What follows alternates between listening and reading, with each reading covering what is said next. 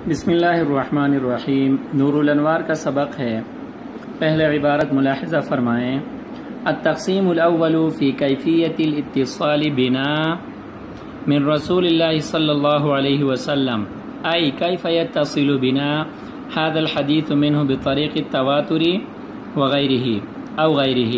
वहुआ इम्मा यकून कामिलन कल मुतवातिरी वहुअल ख़बरुल्लदी रवाहु कौम ला युहसा अददुहुम वला युतवहम तवातुहुम अलल किज़बी लिकसरतिहिम व तबायुन अमाकिनहिम व अदालतिहिम वलम युश्तरत फ़ीहि तयीन अददिन कमा क़ीला इन्नहा सबअतुन वकील अरबाउन वकील सबउन बल कुल्लु मा युहसलु बिहिल इल्म ज़रूरी फ़हुआ मिन इमारत तवातुरी अच्छा जी। यहाँ दो बातें हैं। पहली बात यह है कि हमने सुन्नत रसूलुल्लाह से जो पढ़ने का सिलसिला शुरू किया था, उसमें से ये बाब जो है, इसके अंदर रसूलुल्लाह सल्लल्लाहु अलैहि वसल्लम के अकवाल का बयान होगा। नबी सल्लल्लाहु अलैहि वसल्लम की कौली अहादीस का ज़िक्र होगा, जिस पर उसूलियन के नज़दीक हदीस का इतलाक़ होता है। किसका इतलाक़ होता है? हदीस का इतलाक़ होता है। और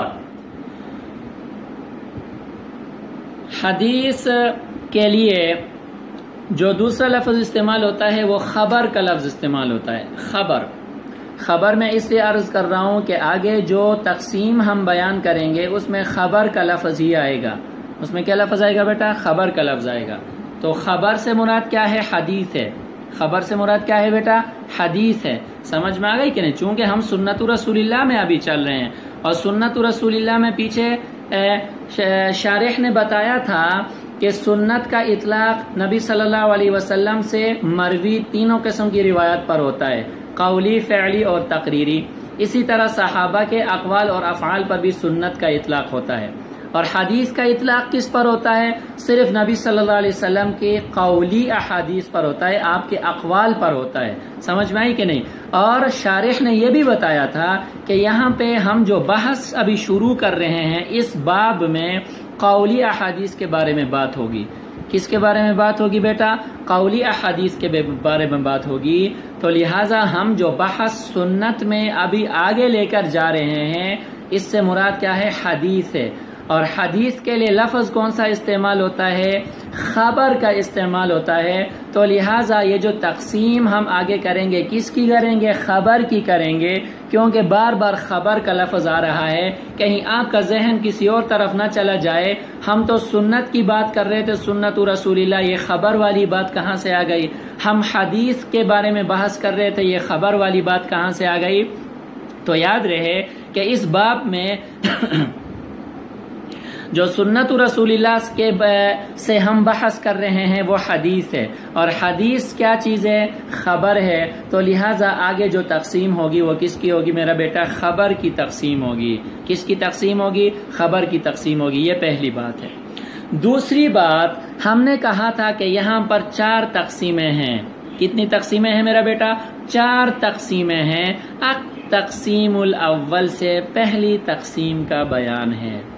तकसीम अव्वल से क्या बयान है बेटा? पहली तकसीम का बयान है। समझ में आ गई कि नहीं? यानी खबर की अ तकसीम अव्वल, यहाँ से खबर की पहली तकसीम का बयान है। यहाँ से खबर की किसका बयान है मेरा बेटा? पहली तकसीम का बयान है। यहाँ से खबर की पहली तकसीम का बयान है। आगे देखें जरा।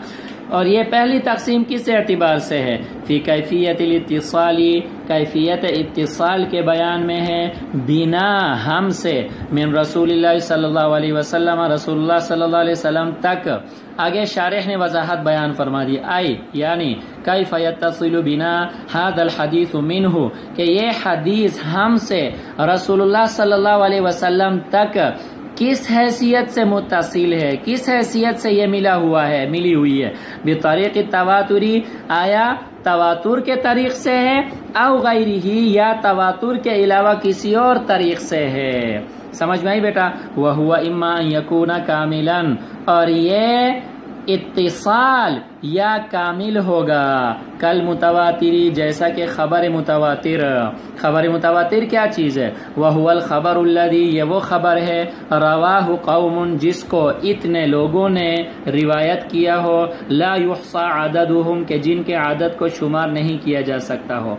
वला यु तवहम और ना वहम किया जा सकता हो। तवाक़ुम अलल किज़बी, उनके इज्तिमा अलल किज़ब का। उनके इज्तिमा अलल किज़ब का वहम भी नहीं किया जा सकता, उनको गिना भी नहीं जा सकता, इतने ज़्यादा लोग होते हैं। लिकसरतिहिम, उनकी कसरत की वजह से व तबायुनी अमाकिनिहिम, और उनकी रिहाइश गाहों के अलग अलग होने से उनके वतन, उनके मुल्कों के अलग अलग होने से, व अदालतम और उनकी अदालत की वजह से, वलम युश्तरत फ़ी तयन आददिन और इसमें आदत की तयन शर्त नहीं है कि कितने लोग हों तो खबर मुतवातिर बनेगा। इसके लिए आदत कोई शर्त नहीं है। कमा कीला जिस तरह कहा गया है, अन्ना सबात उनके तादाद कम अज़ कम सात है। वकील अरबाउना और कहा गया चालीस हैं। वकील सबरूना और कहा गया सत्तर हैं। बल कुल्लु ज़रूरी हो बल्कि हर वो आदद हर वो तादाद जिससे इल्म ज़रूरी हासिल हो जाए जिससे इल्म ज़रूरी क्या हासिल किया जा सके फ़ाहुआ मिन इमारती तवातुरी ये तवातुर की निशानी है अच्छा मेरा बेटा मैं अर्ज़ कर रहा था यहाँ से खबर की तह पहली तकसीम है खबर की पहली तकसीम कैफियत इत्तिसाल के एतबार से है खबर की पहली तकसीम किस एतबार से है बेटा? कैफियत इत्तिसाल के एतबार से है। किस एतबार से है? कैफियत इत्तिसाल के एतबार से है। कैफियत इत्तिसाल का मतलब यह है कि ये हदीस तो मुतसिल है। हम से लेकर नबी सल्लल्लाहु अलैहि वसल्लम तक सनदन पहुँची है। समझ में हम से मुराद जो है ना बेटा, वो मुहदस है, ये बात याद रहे। समझ में आ गई कि नहीं? जैसे इमाम बुखारी रहीमल्ला ने बुखारी को तरतीब दिया है, इमाम बुखारी से लेकर नबी वसल्लम तक ये हदीस क्या है? मुतसिल है। इमाम तिरमिजी से लेकर नबी वसल्लम तक ये हदीस क्या है? मुतसिल है। बाज़ हदीस मुनक़ भी होती हैं, उनके बारे में आगे हम बात करेंगे। लेकिन यहाँ हमारी बात इनकता में नहीं इतिसाल में चल रही है। कैफियत इतिसाल का मतलब मैंने अर्ज़ किया कि खबर की पहली तकसीम कैफियत इतिसाल के अतबार से है। कैफियत इतिसाल का मतलब है हम से लेकर नबी सल्लल्लाहु अलैहि वसल्लम तक। ये जो हदीस मिली हुई है मुतसिल है, इस इतिसाल की कैफियत क्या है? समझ में आ रही बेटा? इस इतिसाल की कैफियत क्या है? आया ये हदीस तवातुर के तरीक से हम तक पहुँची है। समझ में आ गई कि नहीं आई? या शोहरत के तरीक से हम तक पहुँची है, या अहादियत के तरीक से हम तक पहुँची है। समझ में आई बेटा? देखिए ना, खबर मुतवातिर, खबर मशहूर, खबर वाहिद की तारीफात आप लोगों ने उसूल हदीस में पढ़ी है। समझ में आ गई कि नहीं आई? और आसान उसूल फ़िका में भी आप लोगों ने पढ़ी है। उसूल फ़िका में भी आप लोगों ने ये तारीफात पढ़ी हैं, आसान उसूल फ़िका में पिछले साल। बहरहाल मैं ये अर्ज़ कर रहा था कि कैफियत इतिसाल से मुराद ये है कि ये हदीस जो हमसे नबी सल्लल्लाहु अलैहि वसल्लम तक मुतसिल है, इस इतिसाल की कैफियत क्या है? आया वो कैफियत तवातुर वाली है, या शोहरत वाली है, या अहादियत वाली है? यहाँ तक बात आपको समझ में आ गई मेरा बेटा? अच्छा तो कैफियत इतिसाल की तीन सूरतें हैं। कैफियत इतिसाल की कितनी सूरतें हैं बेटा? तीन सूरतें हैं। यहाँ तक बात आपको समझ में आ गई कि नहीं आई? देखिए ना पहली तकसीम खबर की कैफियत इतिसाल के अतबार से है। कैफियत इतिसाल का मतलब यह है कि हमसे नबी सल्लल्लाहु अलैहि वसल्लम तक जो हदीस मुतसिल है, ये बतौर तारीख के हम तक पहुँची है सॉरी तारीख के नहीं, बतौर तवातुर के हम तक पहुँची है, या बतौर शोहरत के हम तक पहुँची है, या बतौर अहादियत के हम तक पहुँची है। यहाँ तक बात समझ में आई मेरा बेटा? अब देखें ज़रा। कैफियत इतिसाल की तीन सूरतें हैं। कैफियत इतिसाल की कितनी सूरतें? हैं तीन सूरतें। मैं इजमालन वो तीन सूरतें आपको पहले लिखवाऊँगा ताकि आपके जहन में वो बात अच्छी तरह बैठ जाए। कैफियत इतिसाल की कितनी सूरतें हैं मेरा बेटा? तीन सूरतें। परेशान ना होना सिर्फ़ सूरतें लिखने से, क्योंकि सूरतों की आगे जो है ना ज़बरदस्त वजाहत जो है ना वो साहिब नूरुल अनवार ने की है। सिर्फ़, वो वो कैफियत की तीन सूरतें आप लिखें। पहली सूरत इतिसाल कामिल। पहली सूरत क्या है बेटा? इत्तिसाल कामिल। इतिसाल की कैफियत है। इतिसाल की पहली सूरत क्या है मेरा बेटा? इत्तिसाल कामिल। नंबर दो, दूसरी सूरत यानी, दूसरी सूरत। ऐसा इत्तिसाल जिसमें सूरतन शुबा हो। ऐसा इत्तिसाल जिसमें सूरतन क्या हो मेरा बेटा? शुबा हो। देखें इत्तिसाल में सूरतन शुबा होने का क्या मतलब है? इसको हम आगे जाकर बयान करेंगे। अब यकून इतिसाल अनफी ही शिबह तुम सूरतन में। समझ में आ गई कि नहीं आई? दूसरी किस्म हो गई, दूसरी सूरत हो गई। नंबर तीन, यानी तीसरी सूरत, ऐसा इत्तिसाल जिसमें सूरतन भी शुबा हो। समझ में आ गई कि नहीं? और मानन भी शुबा हो।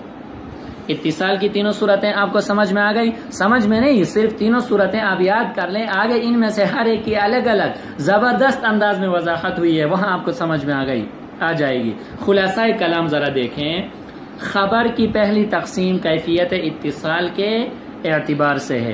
कैफियत इतसाल का मतलब यह है कि नबी सल्लल्लाहु अलैहि वसल्लम से हम तक जो रिवायत पहुँची है मुतसिल पहुँची है यह किस तरीक से पहुँची है? तवातुर के तरीक से पहुँची है या शोहरत के तरीक से पहुँची है, या अहादियत के तरीक से पहुँची है। समझ में आई बेटा?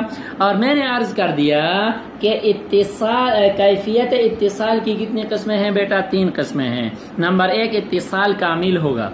इतिसाल क्या होगा? कामिल होगा, ये पहली सूरत है। नंबर दो, इत्तिसाल ऐसा होगा कि जिसमें सूरतन शुबा होगा। सूरतन क्या होगा मेरा बेटा? शुबा होगा। कैफियत इतिसाल की दूसरी सूरत है। नंबर तीन इतिसाल ऐसा होगा कि जिसमें सूरतन और मानन शुभ होगा। तो मेरा बेटा, ये कैफियत इतिसाल की कौन सी सूरत है? तीसरी सूरत है। समझ में आई बेटा? अब देखें जरा हुआ हुआ इम्मा अन यकून कामिलन और ये इत्तिसाल या कामिल होगा ये इत्तिसाल क्या होगा मेरा बेटा कामिल होगा ये इत, कैफियत इत्तिसाल की पहली सूरत का यहाँ पर बयान है तो इन इसके हवाले से बाकी तफसील हम अगले दर्स में करेंगे अल्लाह ताला हम सबको ये खूब अच्छी तरह समझने की और इनको अच्छी तरह याद करने की और जो भी हम पढ़ें उस पर अमल करने की तोफ़ी अता फरमा दे वाखिर दावाना अनिलहमदिल्ला